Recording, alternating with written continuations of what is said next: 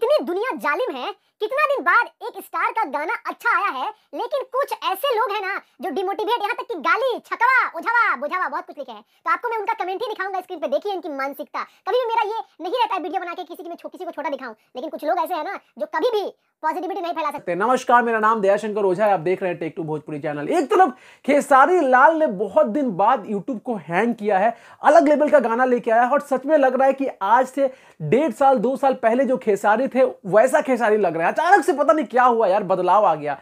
क्या ऐसा कैसे हो सकता है? एक गाना आया, पूरा माहौल बदल गया, पूरा एकदम रफ्तार बदल गया सबका न्यूज़ एकदम वायरल होने लगा है। उसी बीच मैंने दो वीडियो बनाए खेसारी जी के पॉजिटिविटी को लेके गाना अच्छा गया। उसी बीच में दो तीन कमेंट आया है, जो कि मेरे लाइक वो कहते हैं ना कि मेरे मोराल को डाउन कर देगा। जो मैं चाहता हूँ कि पॉजिटिविटी लाना, वो नहीं। लिखता है एगो कि छकवा का गाना तेरे जैसा बुझवे ही सुनेगा रे ओझवा कमेंट किया है। देखो इसकी मानसिकता देखो। और एक तो लिखा था गाली दिया था बहुत गंदा जो कि मैं नहीं दिखा रहा हूँ।